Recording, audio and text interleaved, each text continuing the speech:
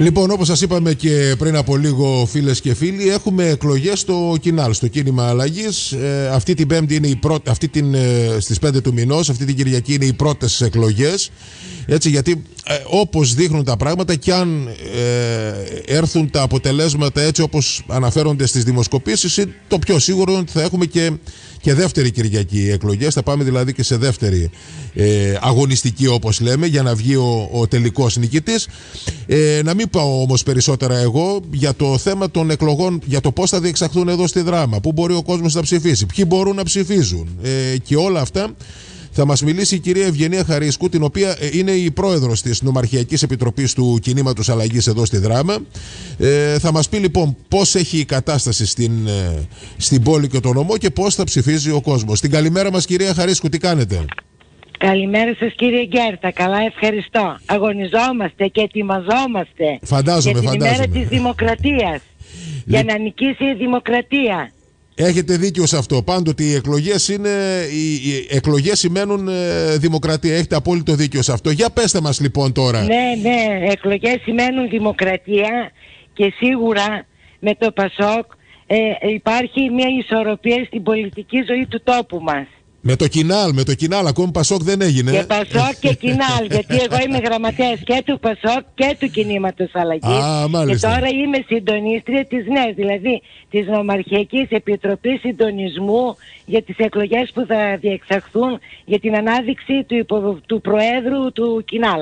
Λοιπόν, για πέστε μας τώρα, ε, να, να δώσουμε λίγο το διαδικαστικό μέρος, ε, κυρία Χαρίσκου. Ε, οι εκλογές θα γίνουν αυτή την ε, Κυριακή, έτσι; Πού μπορούν, ναι, ποιοι, μπορούν, ποιοι μπορούν να ψηφίζουν, πού μπορούν να ψηφίζουν, έτσι, ε, για, και για την πόλη αλλά και για τον νομό. Βεβαίως. Λοιπόν, με βάση την απόφαση της Κεντρικής Επιτροπής, όποιος προσέλθει να ψηφίσει θα εγγράφεται στο Μητρό είτε μελών είτε Η διαδικασία μας στηρίζεται σε δύο βασικές αρχές. Η μία είναι ότι απευθύνουμε ανοιχτό κάλεσμα συμμετοχής σε όλους τους προοδευτικούς πολίτες που θεωρούν ότι μπορούν να εκφραστούν και ιδεολογικά και πολιτικά. Στη συνέχεια βέβαια και εκλογικά από τον πολιτικό μας φορέα. Ανεξάρτητα βέβαια από τις πρόσφατες πολιτικές τους επιλογές και κομματικές τους προτιμήσεις. Άρα όλοι οι πολίτες έχουν δικαίωμα να αναθεωρήσουν την άποψή τους εντασσόμενοι έστω και προσωρινά σε μια οργανική σχέση με την παράταξή μας. Αυτή είναι η δεύτερη βασική αρχή της διαδικασίας μας. Άρα με βάση λοιπόν την απόφαση της Κεντρικής Επιτροπής μπορούν να ψηφίσουν όλοι όσοι θέλουν. Μάλιστα, έχουν την ταυτότητα μαζί τους, φαντάζομαι ότι πρέπει να έχουν μαζί τους την ταυτότητα. με την ταυτότητά τους, βεβαίως, για να διασφαλίσουμε την εκλογική διαδικασία. Ε, βάσει οι εκλογές θα γίνουν, κυρία Χαρίσκου, οι εκλογές θα γίνουν και αναφέρομαι τώρα στην, ε, στους, εκλογ, στους αντιπροσώπους που θα είναι εκεί, με βάση τους εκλογικούς καταλόγους ή μπορεί ο κάθε ένας είτε είναι εγγεγραμμένος στον εκλογικό κατάλογο είτε όχι να έρθει να, να ψηφίσει; Όποιος είναι και γραμμένος στους εθνικούς καταλόγους ή είναι μέλος μπορεί να ψηφίσει. Μάλιστα, μάλιστα, ωραία. Ναι. Από 16 ετών. Από 16 ετών, πολύ ωραία. Πάρα πολύ ωραία. Ε, και γίνονται, φαντάζομαι, από νωρίς το πρωί μέχρι και την δύση του ήλιου; Από τις 7 η ώρα το πρωί mm. έως τις 7 η ώρα το απόγευμα έχουμε βάλει 8 εκλογικά κέντρα. Δηλαδή, να τα πω λίγο αναλυτικά για να καταλάβει και ο κόσμος και να ενημερωθεί στις 5 Δεκάτου και αν χρειαστεί στις 12 Δεκάτου από τις 7 η ώρα το πρωί έως τις 7 η ώρα το απόγευμα θα διεξαχθούν οι εκλογές για την ανάδειξη του Προέδρου του Κινήματος Αλλαγής. Στις εκλογές όπως είπαμε ψηφίζουν όλα τα μέλη και οι φίλοι του Κινήματος Αλλαγής καταβάλλοντας το ποσό των 3 ευρώ. Μόνο την πρώτη Κυριακή. Τη δεύτερη Κυριακή δεν θα ξαναπληρώσει κανείς και έχει δικαίωμα να ψηφίσει μόνο αυτός που ψήφισε την πρώτη Κυριακή. Εάν δεν έχει ψηφίσει την πρώτη Κυριακή, δεν έχει δικαίωμα ψήφου τη δευτερη Μάλιστα. Είναι πολύ βασικό ε, αυτό, έτσι, να το Έχουμε οκτώ εκλογικά τμήματα σε όλο το νομό. Ε, λόγω της πανδημίας ε, είχαμε πάντα επτά εκλογικά τμήματα. Αυτή τη φορά βάλαμε οκτώ. Ε, για να μην υπάρχει συνοστισμός και να προστατευτούμε από την πανδημία. Θέλετε να πείτε πού, πού, θα, πού θα είναι τα τμήματα αυτά; Βεβαίως, βεβαίως. Τα δύο εκλογικά τμήματα θα είναι στο Δήμο της Δράμας και θα διεξαχθούν οι εκλογές του Ισόγειου του Δικητηρίου. Εκεί θα έχουμε δύο κάλπες. Μάλιστα. Στο Δήμο του Κάτω Νευροκοπίου οι εκλογές θα είναι στο Δημαρχείο του Νευροκοπίου με μία Στο Δήμο της Προσοτσάνης, στο Δημαρχείο της Προσοτσάνης μία κάλπη. Στο Δήμο Δοξάτου δύο εκλογικά τμήματα και ένα στο καπίτο Καλαμπακίου και το άλλο στο καπίτο Αγίου Θανασίου.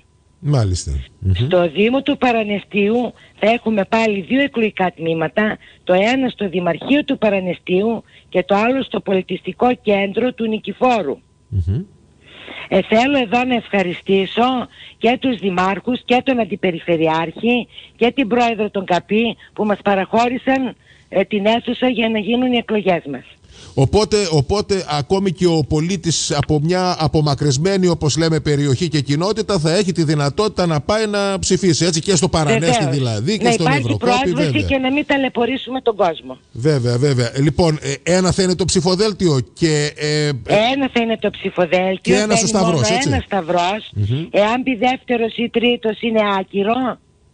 Α, μάλιστα. Και παίρνει μόνο ένα σταυρός σε αυτό που προτιμούμε και πιστεύουμε ότι θα πάει καλύτερα το Πασόκ, το κίνημα αλλαγής και θα ανέβουν τα ποσοστά μας. Και στην περίπτωση βεβαίως ε, είναι βασικό να το επαναλάβουμε για μια ακόμη φορά κυρία Χαρίσκου αυτό, ότι για να ψηφίσει κάποιος ε, τη δεύτερη Κυριακή, γιατί όπως όλα δείχνουν κατά πάσα πιθανότητα θα έχουμε δεύτερη Κυριακή, λοιπόν θα πρέπει να πάει ε, οπωσδήποτε την πρώτη, έτσι, να ψηφίσει την πρώτη για να έχει το δικαίωμα τη δεύτερη. Οπωσδήποτε την πρώτη Κυριακή για να έχει δικαίωμα και τη δεύτερη. Τώρα εδώ ε, ε, πρέπει να πω ότι από αυτά τα οποία ακούω κυρία Χαρίσκου, Χαρίσκου ε, κάποιοι φιλοδοξούν ότι θα, θα, θα, θα, θα, υπάρχει πολύ μεγάλη συμμετοχή αλλά εγώ θέλω να σας ρωτήσω το εξής δεν φοβάστε ε, την αλλίωση του αποτελέσματος από, από, πώς να το πω το, από κάποιους στημένους οι οποίοι θα έρθουν δηλαδή μόνο και μόνο για να αλλοιώσουν το αποτέλεσμα. Όχι. Όπως σας είπα και προηγουμένως μπορούν να εκφραστούν όλοι ή και ιδεολογικά και πολιτικά και δεν είναι κακό να αναθεωρήσει κάποιος την άποψή του. ετσι γιατί ε, ε, εάν έρθει πολλοί κόσμος να ψηφίσει όπως είπε και η ύμνη στη Φόφη γεννηματά η πρόεδρός μας, διακήρυτε πάντα ότι τώρα διαμορφώνονται οι κοινωνικές συνθήκες και οι πολιτικές προϋποθέσεις για το μεγάλο άλμα της παράταξής μας η οποία έχει καθαρή πολιτική ταυτότητα, προοδευτική κατεύθυνση, ανανεωμένο στελεχικό δυναμικό και ολοκληρωμένη πρόταση για τη χώρα. Οι περισσότεροι πρέπει να πω ε, από τους υποψηφίους ή όλοι, εσείς τα γνωρίζετε, περάσαν και από δράμα. Νομίζω ότι κάποιοι δεν περάσαν, αλλά ε, το, το 90% των υποψηφίων πρέπει να νομίζω ότι πέρασε, έτσι δεν είναι κύριε Χαρίσκη. Ναι βεβαίως ήρθε ο Χάρης ο καστανιδης ήρθε ο Νίκος ο Ανδρουλάκης, ε, ο, ο Ανδρέας Ολοβέρδος και ήταν να έρθει και ο Παύλος ο Χριστίδης αλλά ε, υπήρχε κάποιο πρόβλημα και δεν μπόρεσε να έρθει. Ούτε ο Παπανδρέου ήρθε νομίζω. Όχι, δεν ήρθε. Παπανδρέου πήγε νομίζω Σέρες και Καβάλα, αν δεν κάνω λάθος. Και Καβάλα και Καβάλα, βεβαίως. Και Σέρες και Καβάλα. Μάλιστα. Λοιπόν, εμείς να ευχηθούμε ό,τι καλύτερο. Ναι. Εκείνο που θέλω να σας πω είναι ότι θα πρέπει να τονίσω κάποια Ότι όλοι οι υποψήφοι πρόεδροι μας είναι άξιοι στελέχοι που δεν έπαψαν να αγωνίζονται για το χώρο μας και βεβαίως εγγυούνται και αυτοί και εμείς την ενότητα. Όποιος και αν εκλεγεί κύριε Γκέρτα, εμείς θα είμαστε δίπλα του και θα το στηρίζουμε. Θα το στηρίζουμε γιατί στηρίξαμε όλους τους προέδρους μας σε όποια ποσοστά και αν είχαμε. Εγώ έγινα γραμματέας, εκλέχτηκα από το 2015, από 10 Αυγούστου.